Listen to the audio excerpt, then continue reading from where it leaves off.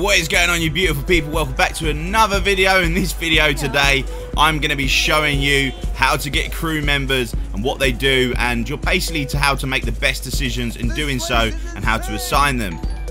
Kevin Casimir, welcome to the Death Squad Amigo. If you subscribe while I'm making a video, I'll make sure I give you a shout out. So, guys, without further ado, If you're hiring, I could really use the work. But be careful like this guy. Listen to their prologue when they start talking to you because this guy, Gideon Aker at the top right, you can see what skills he's capable of bringing to your ship. So in this case, he has ballistic weapon systems and missile weapon systems. So he's going to upgrade that for me without me even having to have that talent. But he did say that he did have debts. And in this case, at the bottom, I'm going to have to ask him what debts he's got just so we don't get bombarded with enemies. Make sure you do this as well. Otherwise, if you're not too interested in knowing their story, their backstory, just go ahead and say I'm interested and then they'll be on board for you. But without further ado, let's jump straight into it. The kind that need to be paid off quickly, or else I'm in big trouble. And if you don't mind, I'd kind of like to keep the details of that to myself. Unless you're agreeing to hire me, of course. Mm, look at the smile he's got. Guys, the only way you can really figure this one out is you can say I'm interested, but make sure before you hire somebody like this that you go ahead and save your game before, just in case he messes up your whole situation. So if I click I'm, for interested, much, just my fair share. so I can pay him. I've got to pay each crew member a set amount of money. In this case, this guy wants 6,500 to be uh, hired.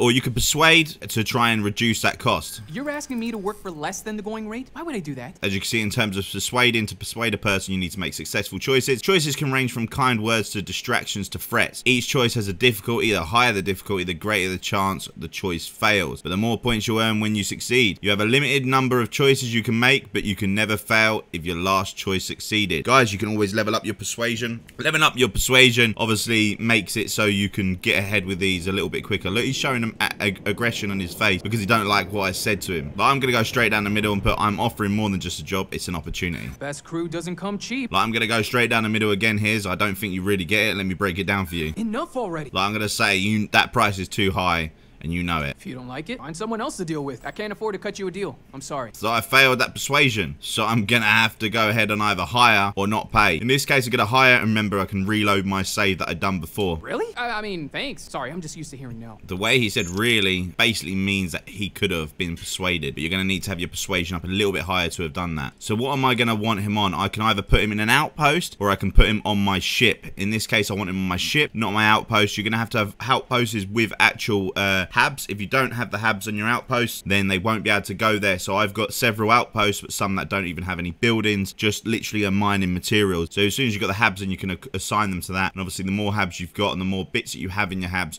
would make it so you could have more crew there. I'm going to put him straight on my ship because he's got ballistic weapon systems, missile weapon systems. That's not going to be any good on my outpost anyway because he's not really capable of doing anything else but shooting. So we'll do that. We'll assign him to the ship. A, assign, done. You can always go ahead and assign them to your other places after if you do not like where you've signed them. So if you've got a new ship as well or you've got a new outpost, go ahead and do that and you keep switching them around. You see my outpost, my current outpost, my ships. I've got no one apart from this guy now. So if I back out, Thanks for giving me a chance. I'm on my way. He's off to go to my ship now. On the way to my ship, I'm going to quickly just talk to him to see if I can find sir. out what was his issue. Now, I'm going to quickly just say, let's trade gear to see if he's got anything on him. But don't say I never did anything for you.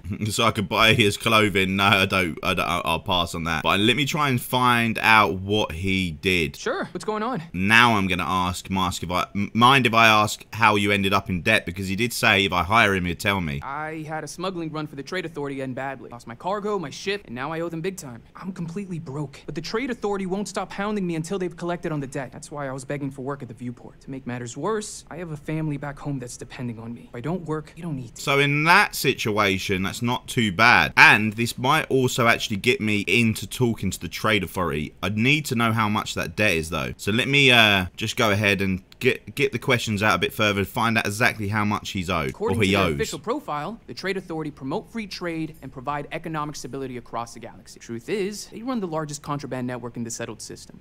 Mech parts, biotech, drugs, nothing's off limits. And they do business with anybody, even the Crimson Fleet. See, now that doesn't have to be a bad conversation because at the end of the day, if they have their hands in every single pie, then in theory, that gives me one step closer to getting my hands in all these pies because that's what I want. The ultimate goal is to be able to have access to everything, and this is a clear route into it. He's just he's got to debt. Now, let's still try and dig a bit deeper and find out what that debt is. Like I said, looking at the se second dialogue, I'll keep that in mind. A trade authority contact might come in handy someday. That is exactly what my thoughts were because, yet again, having that contact, we might be able to do so much in this game, or even more than we've already got. And let me try and find out what cargo he smuggled. Whatever they stuck in my hole. I didn't ask a lot of questions. Figured the less I knew about what I was involved in, the better. See, that's not a bad answer because now I know he's not actually a bad person. But now I'm going to ask, not the kind of people you want to end up debt to to see what they are about. Now you're catching on. They've been all over me since I got into debt with them. And I get the feeling they aren't afraid of firing a couple bullets to get what they want. Okay, so he's basically saying they will shoot at us. Let's uh, find out what the UC government are saying. Boss, when I said the trade authority did business with everybody, I meant everybody, UC government included. But you didn't hear that from me. Okay, so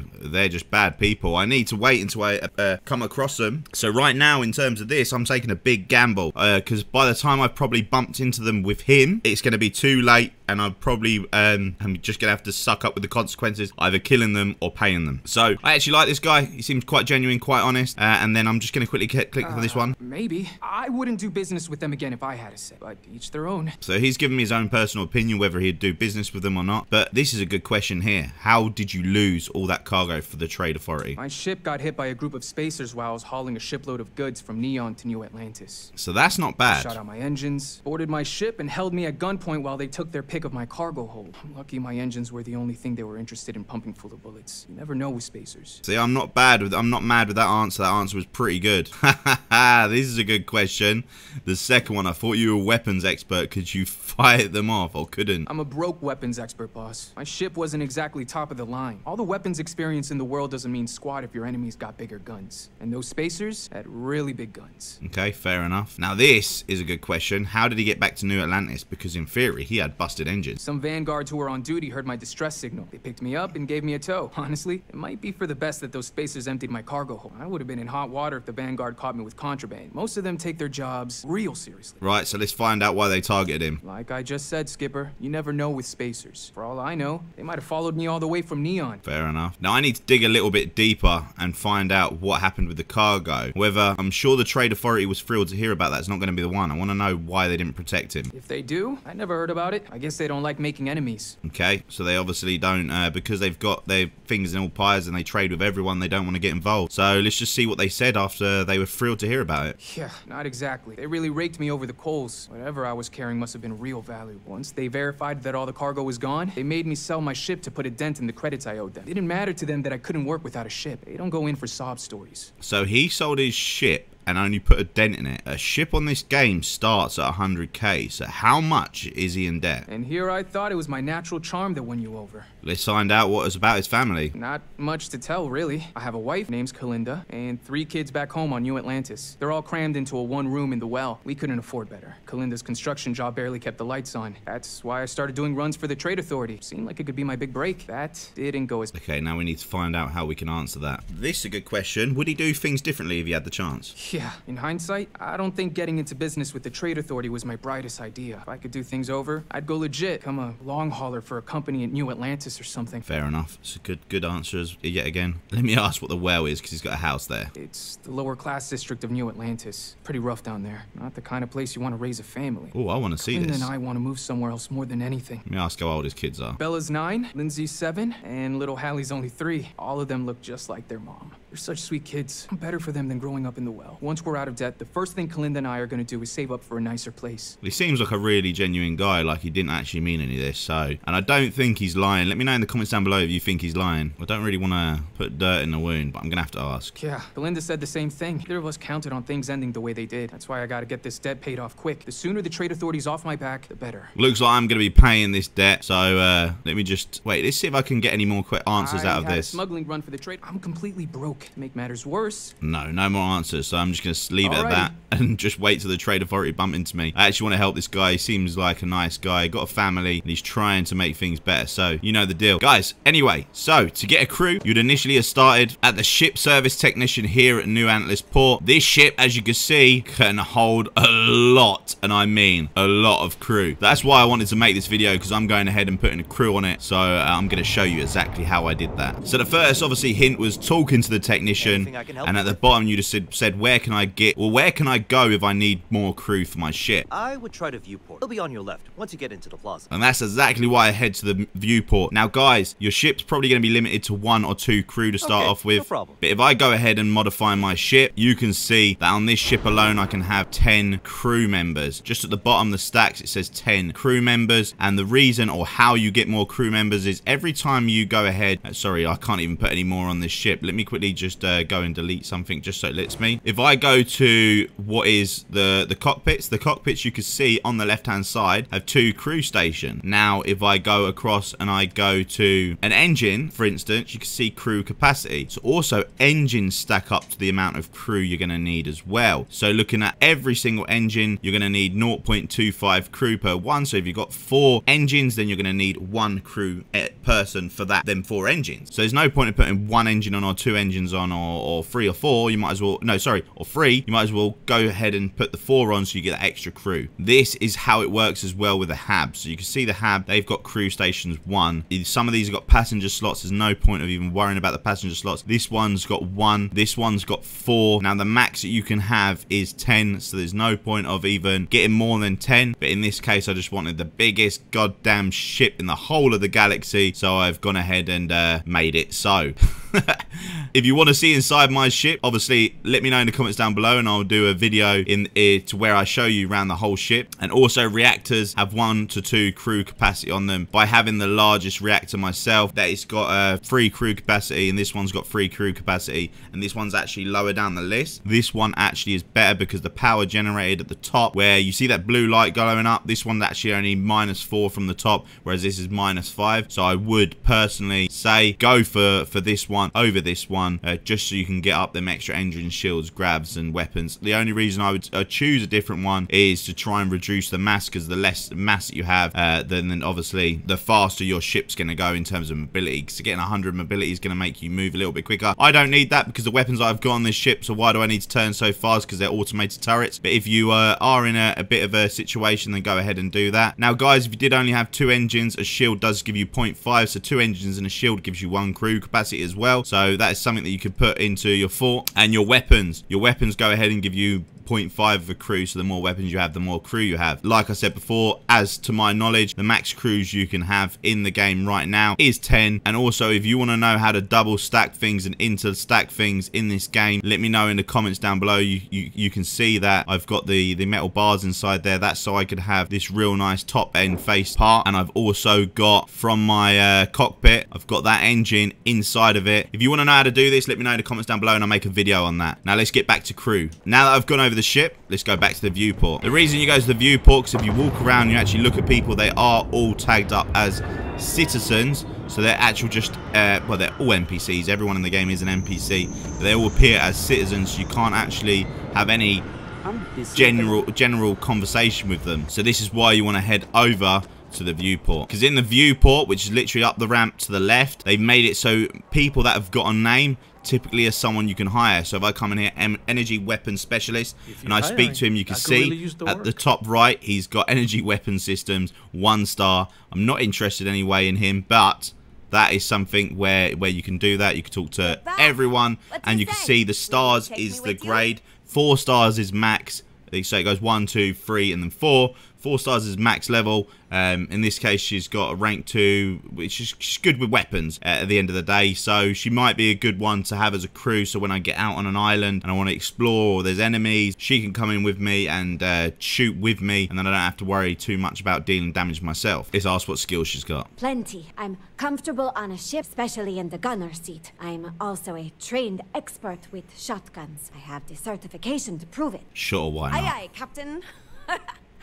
I won't overcharge you. I'm grateful for the offer. I've been out of a job since I left the Freestar Rangers. Oh, that's pretty interesting. No, so she was part of the Freestar Rangers. Oh, 18k she's going to cost. My lord. Yet again, we're always going to try and persuade and reduce that cost. Look at the smirk on her face. We're going to reduce that. You're we're going to try to. credit? I'm going to just say that price too high and you know it. If you don't like it, find someone else to deal with. Oh, yeah, I'm going to go down. Who knows how long it's going to be till you get another offer. Don't think I'm desperate or anything, but you do have a point. Hey, we got that. The last thing I want is you going bankrupt on my account. I'll work for whatever you can pay. Mm, we've just reduced it by half, guys. So getting your persuasion up is going to reduce the crew cost. Let's do 9k. Thanks! I think we'll make a great team, huh? Well, that was great. Remember, people like this would be good to put onto your outpost because they got good weapons. But in this case, I'm just going to put it on the ship. We have already got uh, ballistic weapons, missile weapons, and she's got particle beams, so it does help out. Uh, but it's just good for to have it around outposts Thanks and stuff. We just keep chance, it Captain. In mind. let you down. And it's not really that expensive, especially with the money glitch video at the end of this one. Okay, so there is some people in here that you can't interact with, and probably just as well because that hairstyle is not kicking it for me. Sorry if you've got the hairstyle, but yeah, no thanks. I'm going to go around and click on Any every single on one. crew? He's only got one in pistol, so not interested. Can't talk right now. Sorry. And then this guy at the end of the bar, he looks pretty interesting. He picked a good day to drop by. Bartender's making him strong today. You in uh, town for business? He looks like a sniper overall. You also know they're ranked by the top, uh, at the top right. You can see there's a star, the line over, Do I need a and then the wings. Let me go over to someone else. But I go back over to this person that was sitting down whenever it Hey. lets me interact. Okay, now I can interact. You can see at the work. top right, the rank is only the circle with the diamond. So the wings are the best. There is higher ranks. I'll see if I can get an image Picked to a put good it day to up. drop by. Bartender's making him strong today. Now let's have a conversation with him to see what he's about. Let's have a look. Official constellation business. You're with Constellation? Damn, that's cool. I've always admired you guys. Exploring the stars full time seems like a dream come true. It seems like we have that in common. Personally, I'm here looking for work. I just quit my job as a weapon tester for Mass. Oh, a weapon tester for Mars. He might then unlock me new weapons that don't actually show in my thing. So that might be really good. This uh, go down the Explorer, would you consider working for a discount? You get to see a lot of the galaxy. I really need this job. Sure. I'll cut you that deal. 6k, guys. We managed to get him down to 6k. Sounds Let's like do it. salary for your new weapons expert. I'll take it. Putting him on the Conqueror. We're filling up this Conqueror, baby. So we got two shooters and we've got one ship specialist. I'll head straight to my post and get to work. Now we're not done. We need more crew members. How are we going to get more crew members?